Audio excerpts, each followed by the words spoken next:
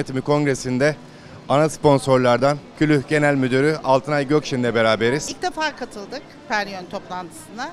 Çünkü Klü olarak son iki yıldır bu bölgede çok aktifiz Trakya bölgesinde. Klü bir Alman firması. E, facility Management yani tesis yönetimi adı altında temizlik, güvenlik, e, yemek hizmetleri, destek hizmetleri vermekte. Ve aşağı yukarıda dünya üzerinde 60 bin üzerinde çalışanı var. Özellikle Almanya based olmak üzere 8 ülkede yer alıyoruz. E, Trakya'da da yani bu bölgede de aşağı yukarı 2 yıldır çok aktifiz. Ve bu yıl itibariyle daha da aktif olacağız. Çok ciddi olarak e, stratejiler geliştirdik. Daha büyük e, yatırımlar yapacağız. Bundan dolayı da burada yer aldık. Müşterilerimiz çok çok memnun. İki yıldır müşterilerimiz var. E, burada çoğuyla da karşılaştık. Son derece memnunlar.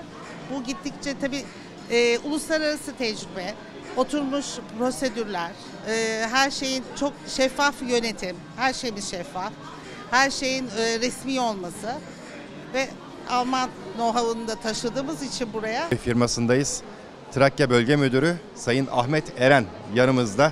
Hangi noktada ilerliyor? Bölgesel yatırımlar noktasındaki durumunu biraz bizlere aktarır mısınız? Ben, e, Türkiye'de e, yaklaşık 2000'li yılların 2004'ten sonra bir yapılanma içerisinde olan bir firma. E, Türkiye pazarına giriyor ve e, başka bir firma satın alarak e, bu işe atlıyor.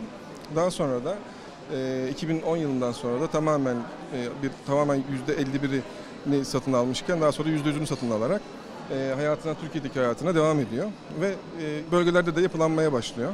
Trakya bölgesi de Külüh e, Türkiye için çok önemli bir bölge. E, yine Ankara, İzmir, e, İstanbul ve Anadolu'daki e, bölge müdürlüklerimizle beraber Trakya'da çok önemli ve değerli hale geliyor. Ben de Külüh'ü Trakya'da temsil eden bir bölge yöneticisiyim.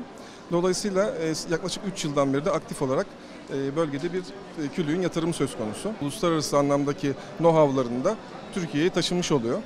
Bunlardan da biz çok güzel bir şekilde faydalanıyoruz. Hay- Hayırlısıyla, hayırlısıyla da e, önümüzdeki yıllarda da Türk, e, Türk şey, Trakya bölgesinde Külüh'ün daha da büyüdüğünü göreceksiniz. E, Bugün burada da e, ana sponsor olarak e, etkinliğimize devam ediyoruz, sürdürüyoruz. Yıllık bir firma Külüh. E, 110 yıl önce aslında bir cam silme işiyle başlıyor.